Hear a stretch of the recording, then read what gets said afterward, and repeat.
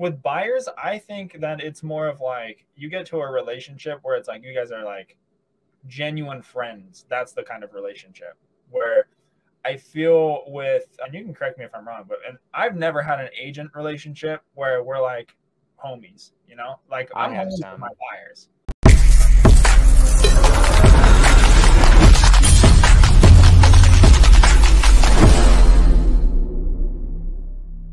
Yeah. So real quick, start talking about talk about how what our roles are and like how we decided on that and like how would you know let's say how would you know if you're an integrator versus a visionary on your side?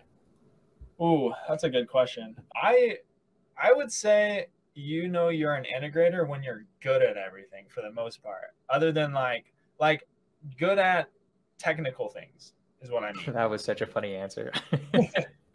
when you're just better than everyone, you no, I'm just kidding. No, when you're good at like technical things, I think and, and it's just natural to you or you learn really really quick technical things specifically, I think that's that's an indicator that you're probably an integrator. Not not, not just that, obviously, there's a bunch of other things, but for me it's like I can pick things up very quickly, technical things and and start making stuff happen very well, like quick and well and then I can take people's ideas or, or thoughts and I can see them form like just naturally in my head. I can see it form into like a plan, like a blueprint of exactly what to do. Where I can't see, like, I can't do the other way around. Like, I can't think of think like I can I can think of things to do, but I have no idea what that's gonna do for me. Like, I have no idea where that's gonna get me. Where like Jonah's like he knows like, he knows where that's going to go and i know how to make the blueprint if that makes sense. I know it's kind of I've got like a I've got like a 26 step plan already for how what we need everything we need to do right now. Like Yeah, like and then- literally.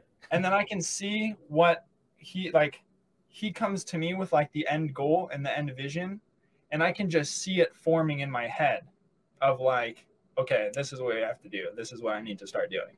Like just naturally it just comes that for me that's a hard question because i don't know how you know every every integrator every visionary is very different but that's just how it is for me where like i can see exactly what to do in my head and i also enjoy doing that stuff like i like working at night just not talking to anyone doing my busy work and like creating things right?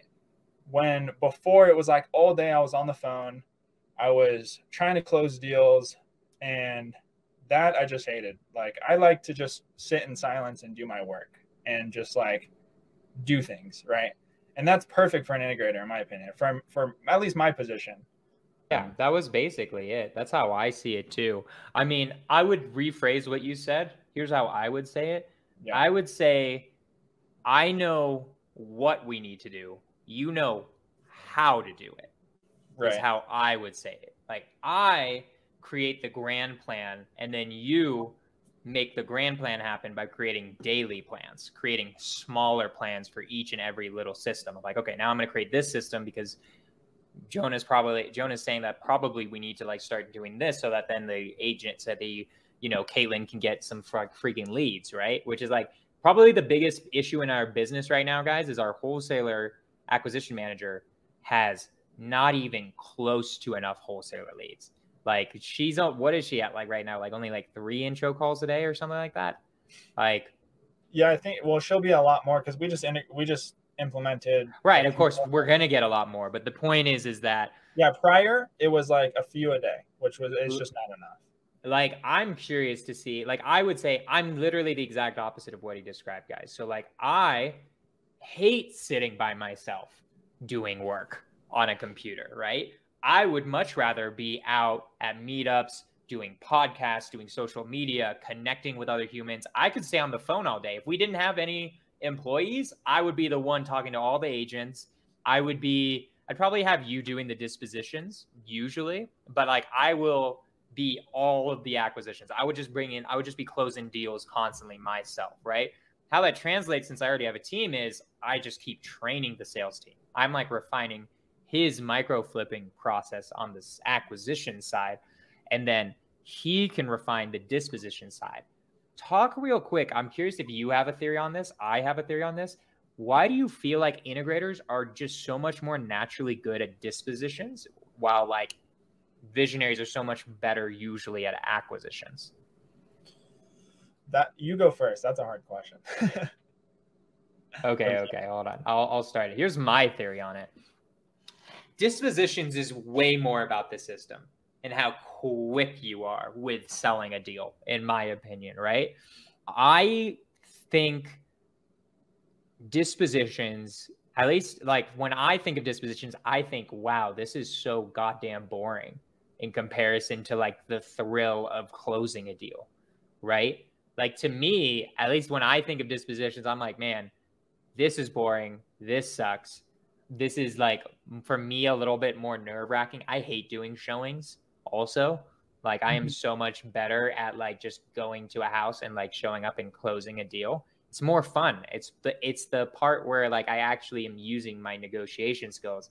While dispositioning is more ha- just how many buyers can you get to?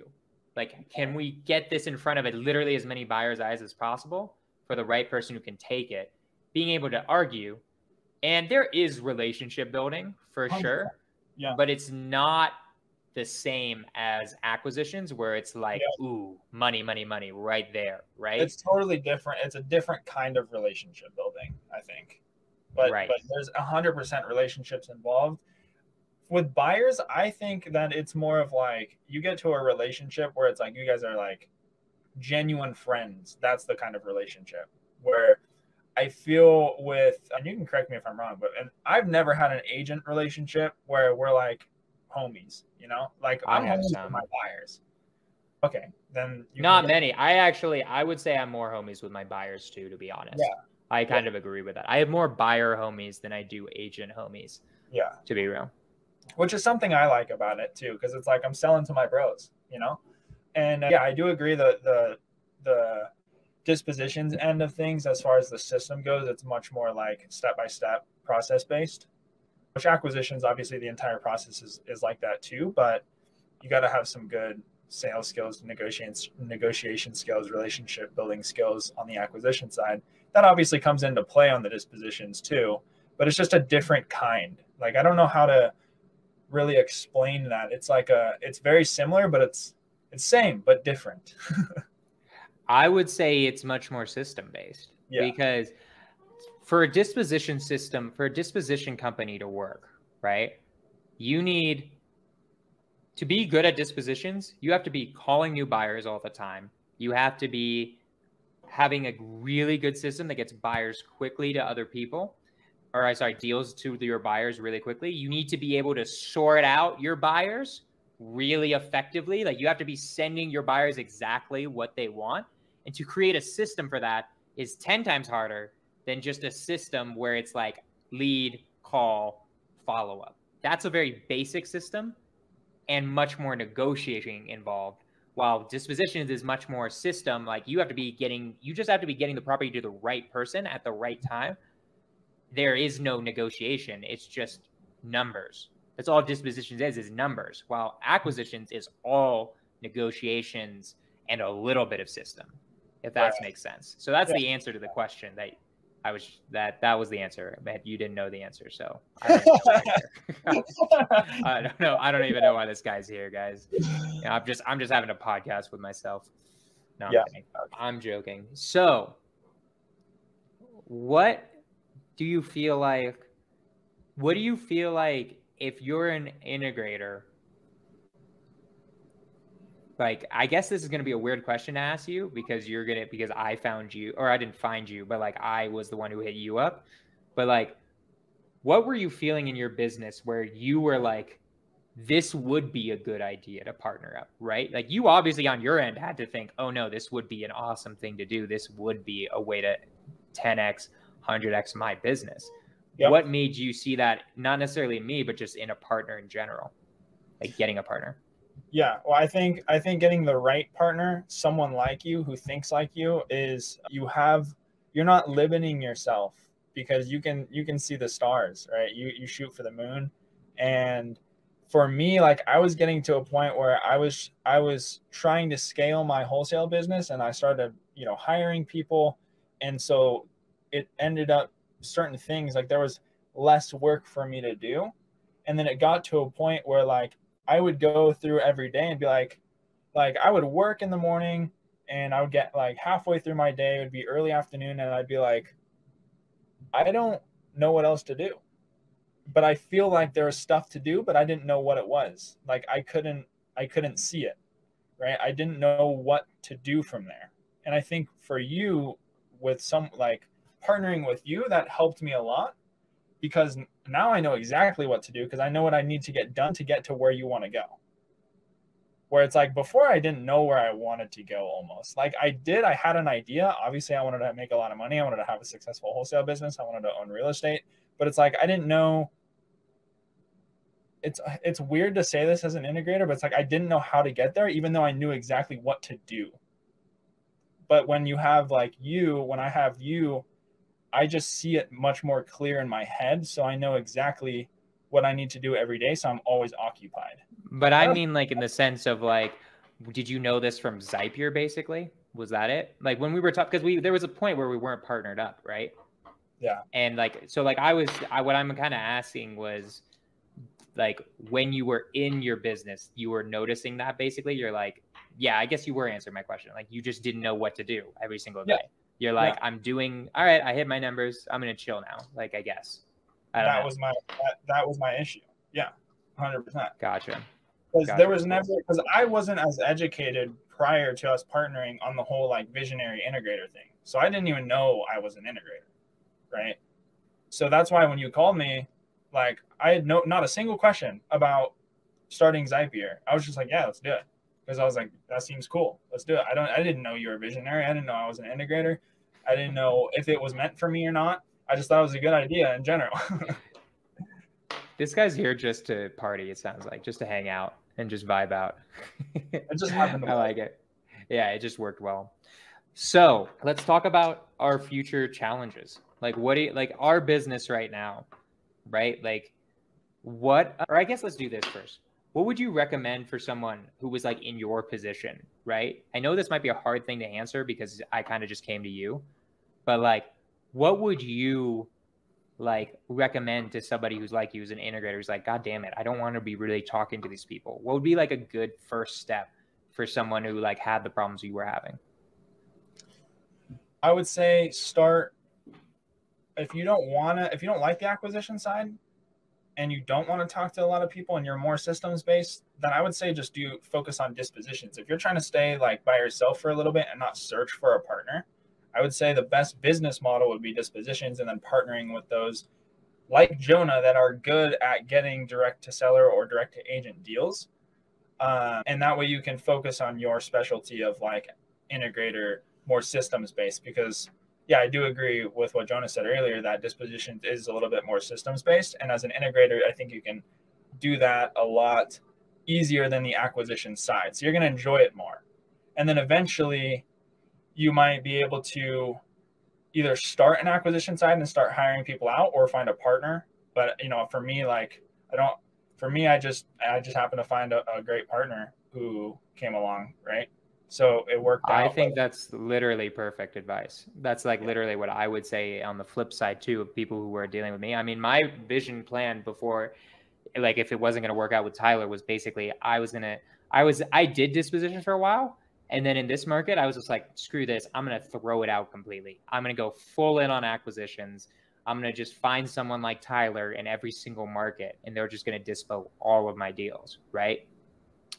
The issue is is it's actually pretty hard to find people who are really, really good at dispositions. That's actually kind of rare. Most people say they did disposition, but I, it is rare. I trust very few people to actually be able to disposition. And you have to be able to prove it, right? Like basically, what will happen if you're looking for a partner and you're an integrator? I 100% agree with your model. Dispo everyone else's deals.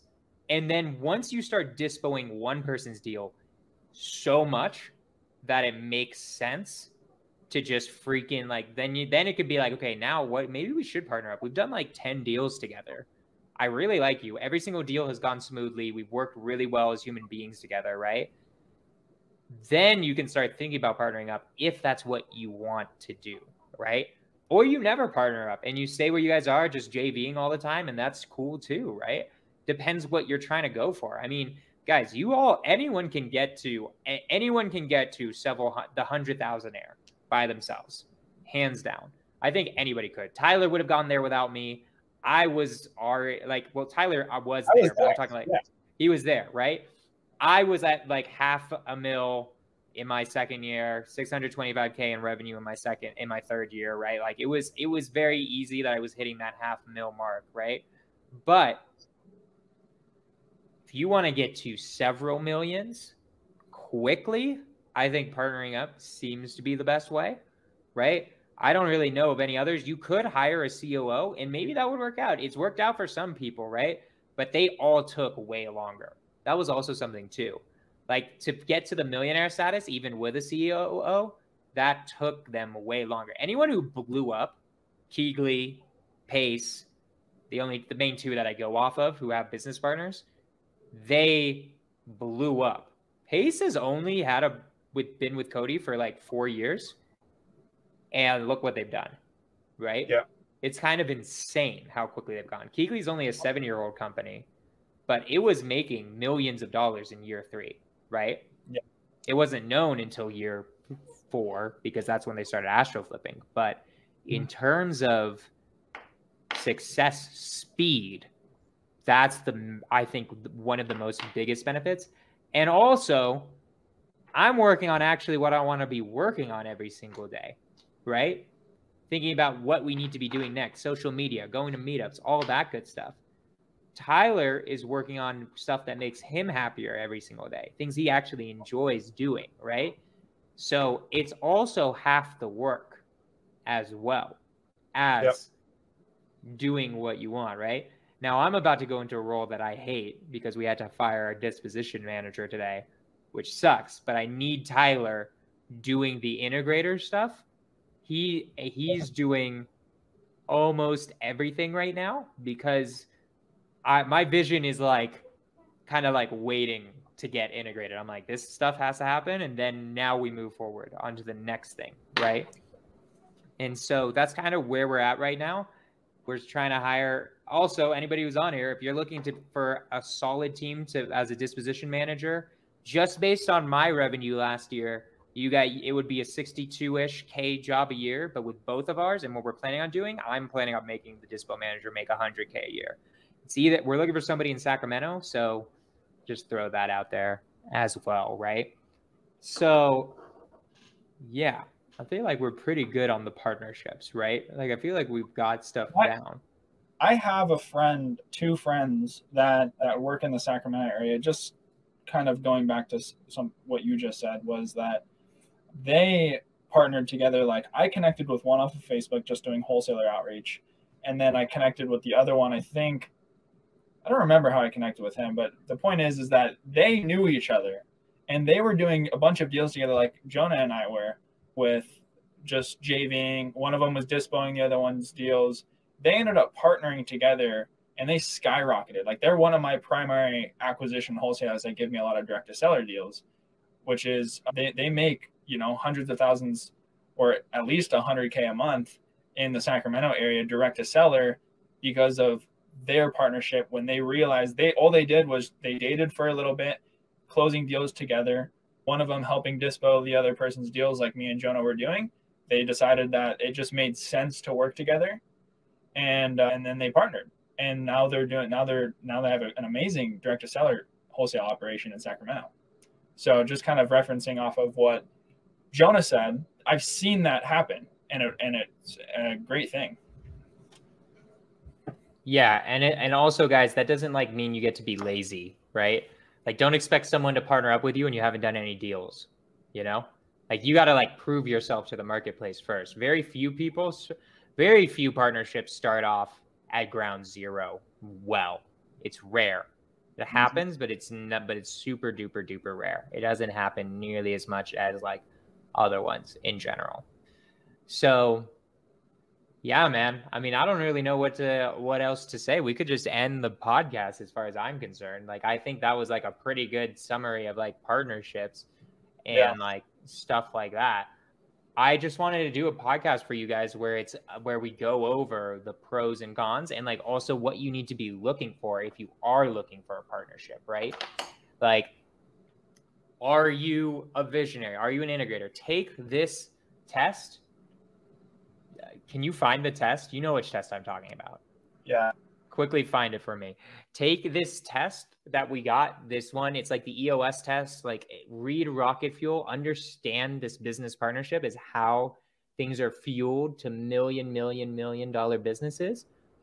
And again, if you don't find a partner, it's okay. If you're a visionary, I get I I think it's easier for a visionary too. Like you can hire COOs, right? You can hire CEOs for your companies, right? Like when you're hitting that point to the point where uh, it is needed. So they get you to like millions and millions and millions of dollars. Hold on. So that's the link that's kind of like hard for everyone to write down, but write this down, take this test, find out if you're a visionary integrator. At least know yourself it. a little bit better. Huh? I said screenshot it. Yeah, screenshot it, right? Make it where you like you find this out. And I was like 90% visionary. You were how much integrator were you? Remind me. Uh, I think I was like close to the 80. first time the first time you got 50-50, I'm like, that's bullshit. I already know that's wrong. Yeah, I think I was close to 80 if I remember correctly. Yeah. I'm 90% visionary, right? So, anywho, that's that. But yeah, man. I mean, I knew I just wanted to bring Tyler on for like kind of a special episode of Skorch the Fears. It's not like a regular one. I actually wanted to provide more value on this. So I just am going to leave it at announcements and then I'll end the podcast a little early. Me and this guy are starting a podcast called cash flow and coffee. We're starting this Monday, 9:15 a.m. MST. Monday will be the first one. If you guys were following my IG lives with John Galan, it is a continuation of that. John dropped off. He decided he's too good for social media or some BS like that. I don't know what happened. He literally just was like, dude, I'm just so busy now. And I'm like, all right, bro. Like, I guess I want to, I, I sent him that meme you know, there's like this not a meme, but like it's like this video of like Conor McGregor being in his Irish accent, being like, "Your lack of dedication is." It's an insult uh, to the people who believe. Yeah, yeah, yeah, that's it. That one. That was good, good, good. You did that better than me. See, visionary integrator right there. we finished each other's Yeah, yeah. So I I sent that to him because I was like, your lack of dedication is an insult to the people or whatever it is, right? Like, like it, it because it is. And so I love that guy, but also he's he's not dedicated enough to it. So me and Tyler are doing it now. We're answering all of your questions, wholesaling related, creative financing related, everything you would ever need. 915 MST. It'll be like a 20 to 30 minute podcast. I collect questions that people send me throughout the uh, week. So come there, 915 MST. It'll be on my YouTube channel. We're going to be going live. It's going to be sick and amazing. And yeah, if you guys have questions, more questions about partnerships, send it to me, send it to Tyler. You can hit up Tyler on how should people hit you up? Best thing is just to direct message me on Instagram, Tyler Which is just yeah. yeah. So literally same with me. So just write his name in Instagram, follow him, and then yeah, send don't deals forget. to either of us.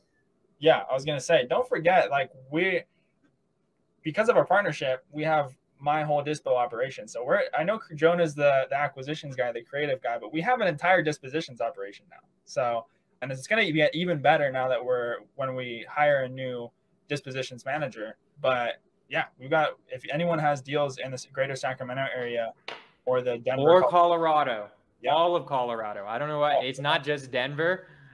We have I have a dispo arm. He does Eric does all of Colorado Springs, Pueblo, Denver. We especially are focusing on Denver, but we do all of it. So all of Colorado, mainly Sacramento and Sacramento and California, although we can dispo deals in the Bay Area, although we don't focus on it as much. But guys, send me deals, send him deals. Hit us up if you guys got questions. We'll answer them Monday, 9:15 MST. My man, do you have anything last words to say to the people? That's all, man. I appreciate you having me on here again. And maybe we'll do it again in the future. Who knows? nope, this is the last time. no, no, maybe we will if we have something to talk about. We're gonna have our own podcast. There's no point. Yeah, literally, like literally, we're having a podcast call. So like, I don't think there's a point for you to come on here, right? No. But anywho, thank you guys so much for coming on. We will see y'all next week. I think I've got Tanisha coming on. She's awesome. She's amazing. It's either Tanisha or Jameson. I forget which one, but one of them is coming on next week. It'll be awesome. Thank you guys so much for coming on. I know we were early. Next week, we're back to 6 p.m. MST, 5 p.m. PST. This is Skorch the Fears. Let's freaking go.